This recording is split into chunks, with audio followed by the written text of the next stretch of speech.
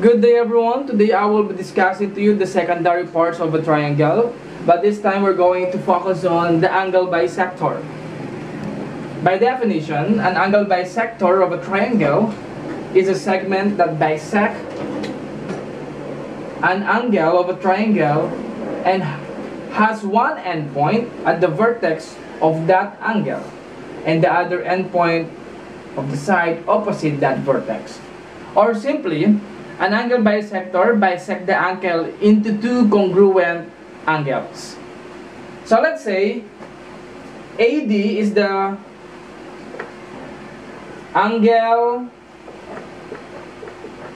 bisector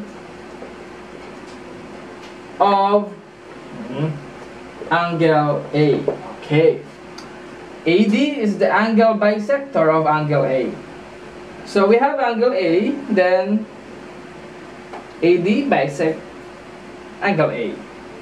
That means we can conclude that angle BAD, angle BAD, is congruent to angle DAC, angle DAC. Okay. So if BAD measures 29 degrees, DAC also measures 29 degrees because AD bisect angle A. It divides the angle into two equal parts. Now let's have our example number one. In our illustration, if ray DF is an angle bisector, is an angle bisector, that means it divides the angle into two equal parts. Find x. We know that angle EDF, angle EDF is congruent to angle FDC. FDC. Now substitute, we have the given EDF is 8x is equal to FDC. FDC is 4x plus 30. Now solve for x. Combine like terms. We have 8x. Move the left. Change the sign. That will become minus 4x is equal to 30. 8x minus 4x, that is 4x is equal to 30. Now, to get the value for x, we need to divide by 4. So x is equal to 30 over 4. Reduce in lowest term, x is equal to 15 over 2. 15 over 2, that is the value of our x. Now our example number 2. Ray MR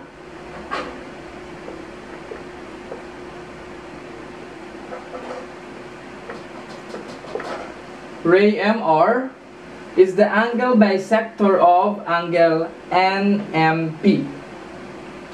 Find x if measure angle 1 is 5x plus 8.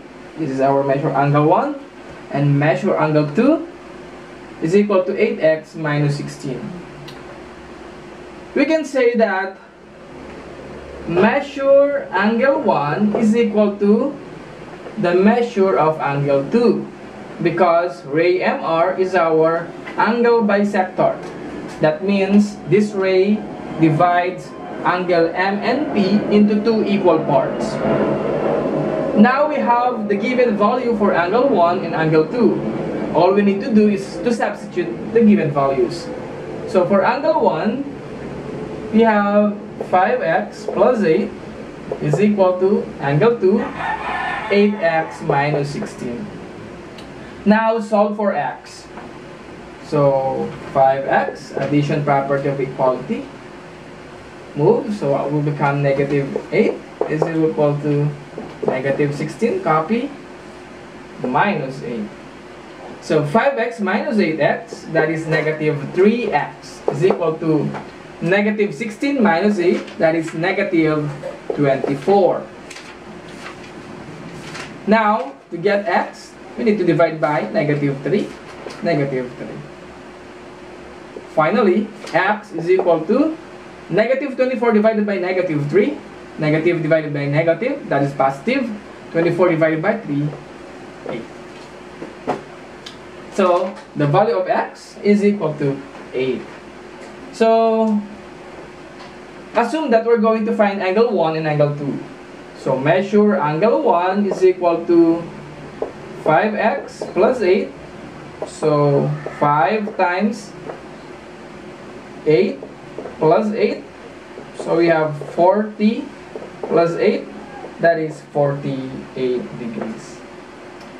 So measure of angle 1 is 48. Since measure angle 1 is equal to measure angle 2, so we can say that measure angle 1 is equal to 48. Measure angle 2 is also 48 degrees. That is the angle bisector. Thank you for watching Señor Pablo TV.